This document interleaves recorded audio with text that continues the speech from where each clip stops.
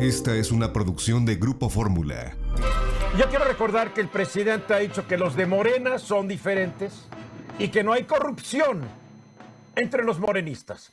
Bien, pues la semana pasada se dieron tres denuncias de corrupción que involucran a funcionarios o exfuncionarios morenistas en los tres niveles de gobierno. O sea, una denuncia contra un exfuncionario federal, otro contra otra exfuncionaria a nivel estatal y otro contra también una exfuncionaria a nivel municipal.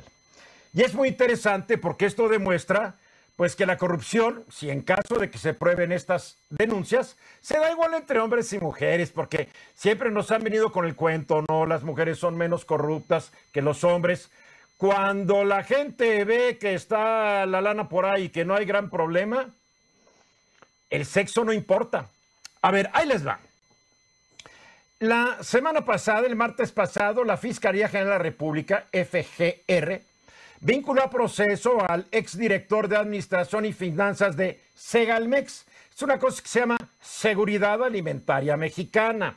Este hombre se llama René N, porque ahora ¿se, vale o no se vale decir, Luis Miguel, los nombres completos o nos demandan de, de injurias o faltas a la buena honra?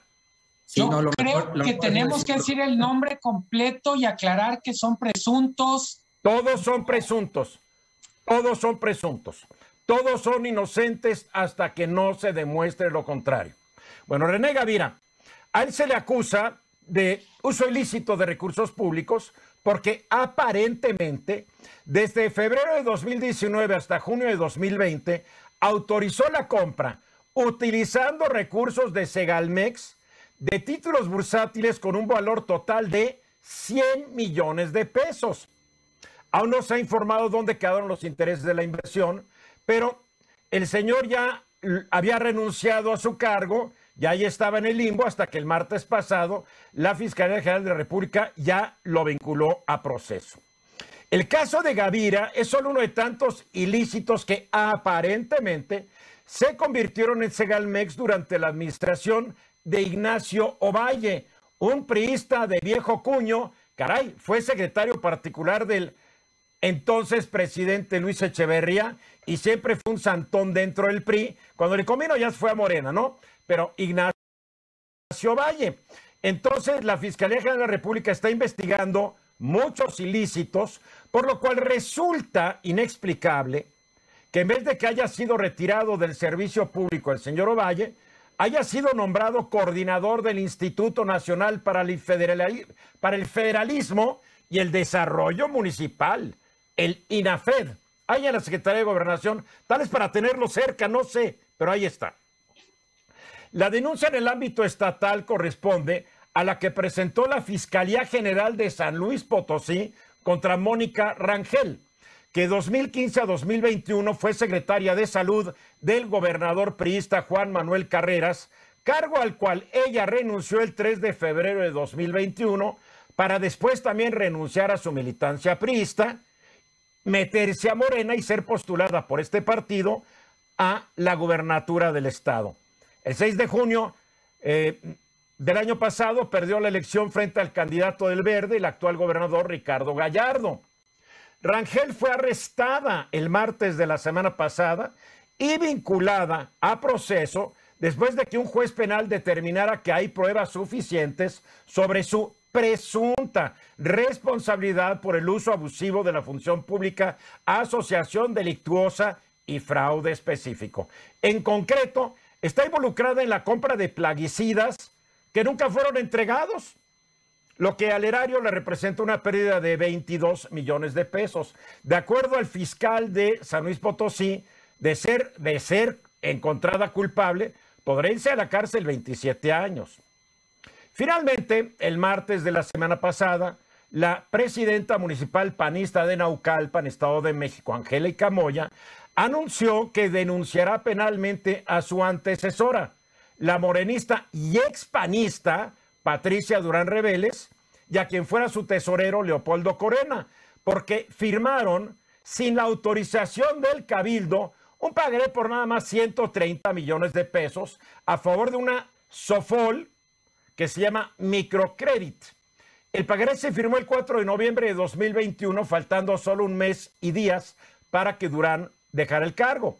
Debido a que el monto de la deuda no fue cubierto en la fecha establecida, pues la actual presidenta Angélica Moya dice pues que las finanzas municipales están hechas un desastre. Además de este pagaré, pues le dejaron una deuda por más de 3 mil millones de pesos. Esas son dos denuncias ya formales vinculadas a proceso, más el anuncio que hizo la presidenta municipal de Neraucalpan de que denunciará a su antecesora inmediata en el cargo. Repito, todos son más inocentes que la paloma de la Santísima Trinidad hasta que no se demuestre que son culpables. Ahora, vamos a hacernos unas preguntas. ¿Van a ser juzgados? No sabemos. ¿Serán declarados inocentes o culpables? Pues el tiempo dirá. De ser declarados culpables, ¿irán a la cárcel? ¿O se zafarán de esto no más restituyendo al erario el dinero que supuestamente mal usaron, desviaron o se robaron, intereses incluidos? Son preguntas que siempre nos hacemos porque hemos visto que en este país con regresar la lana no sé si los intereses. Pásele, vaya usted a su casa y no peque más. Sí, Luis. Aquí hay que tener en consideración que los que ya se encuentran vinculados a proceso deben de permanecer en prisión preventiva. Morena aprobó eh, una reforma constitucional en la que incluyó en el catálogo de delitos eh, eh, sujetos de prisión preventiva oficiosa los delitos relacionados con corrupción.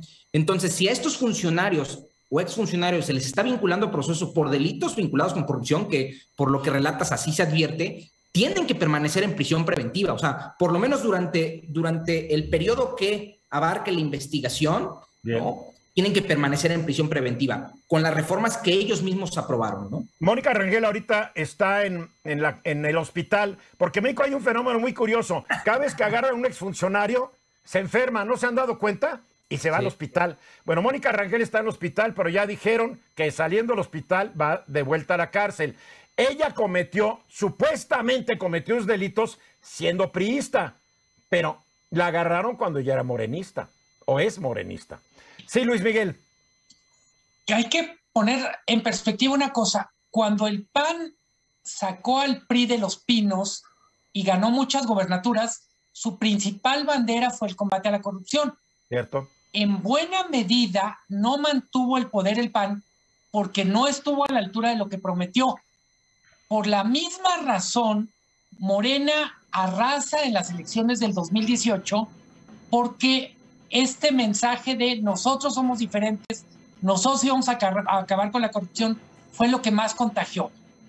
para la gente, transición a la democracia es combate a la corrupción.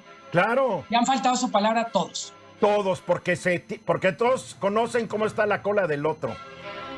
Esta fue una producción de Grupo Fórmula. Encuentra más contenido como este en radioformula.mx.